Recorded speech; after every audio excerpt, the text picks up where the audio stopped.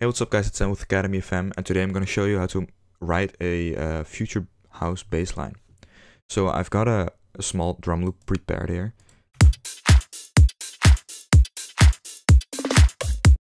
Really simple, uh, all the samples are from the Cymatics House Essentials pack. Yeah, it's so it's just a kick, clap, a uh, hi-hat loop and a fill.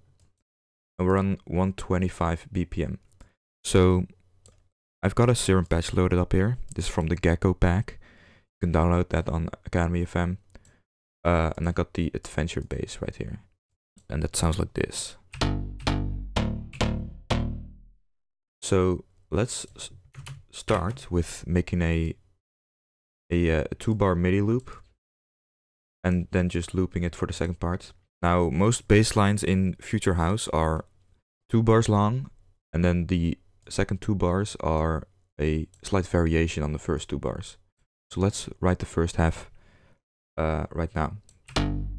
So I want to write this in G minor. So I'm going to use this trick I use where you first click all the notes that are in G minor. So that's G, uh, A, B flat, C, D, E flat, F, and G. You select those, you copy that an octave up, an octave down, now select all and then move them back one step so they're be before the MIDI actually actually starts. So if you play it, you don't hear anything, but you can still see the notes. So you can use this as a reference uh, of which notes to use if you aren't that uh, good at music theory yet and you haven't learned the notes uh, from your head. So let's start it with the G. Now, a lot of future house basslines have this have kind of the same patterns. So a lot of times you will hear something like this. This rhythm. And then sometimes you will hear some eighth notes. In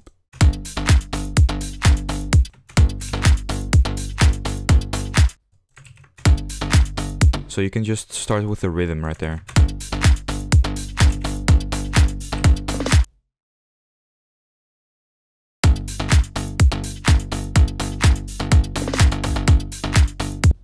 So we have some uh, 16th notes here at the end. Actually, I want to tweak this one.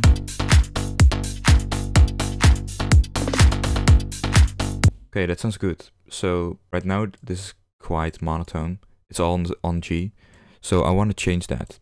So a lot of the good notes to use are the root note, the third of the root chord. So that's in the G minor chord, that's uh, B flat. And also the fifth of the root chord, so that's the D right here. So we can go from G to uh, the third, maybe. Maybe here.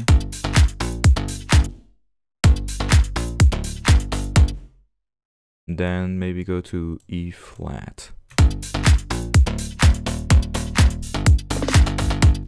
Maybe then stay on E flat.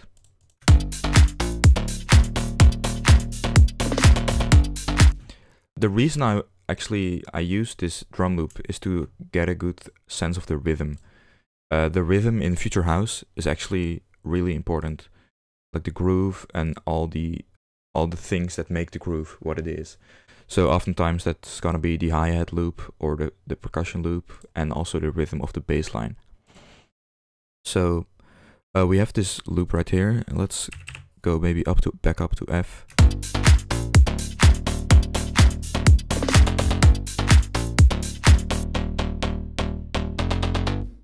So for the first half, that sounds good. So now we're gonna go over here to the left and press duplicate loop. So now we have a copy of the loop in the second part.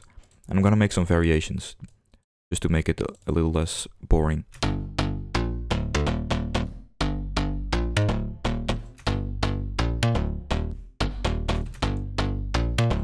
So I'm just using the octave from the note that we're using right here. Um, maybe you want to use an octave here too.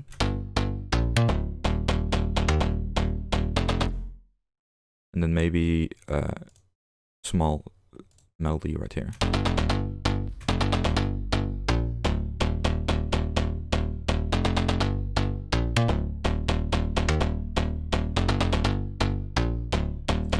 Right, let's actually do this right here.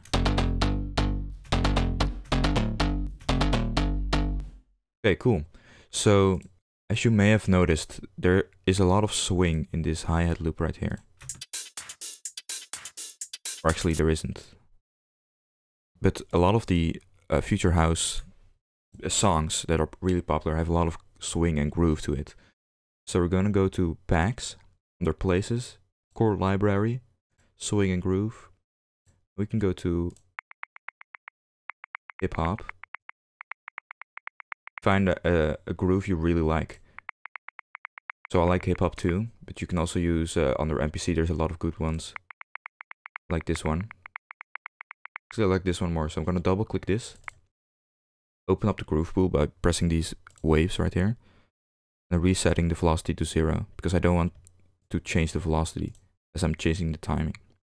So in the MIDI clip right here, I'm gonna now go to groove and select the groove that we just uh, inserted into this groove pool. So now it should sound like this.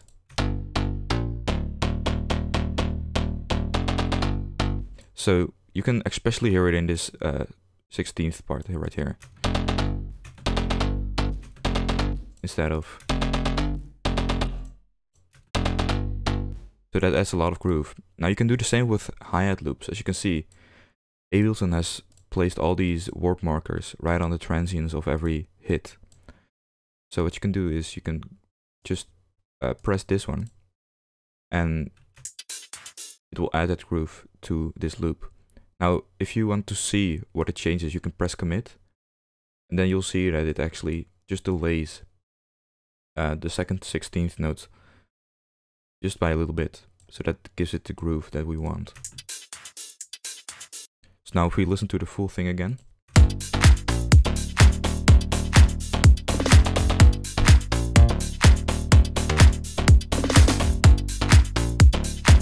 And that's how you write a future house bass loop. So I hope you enjoyed this, I hope you learned something, and I'll see you in the next one.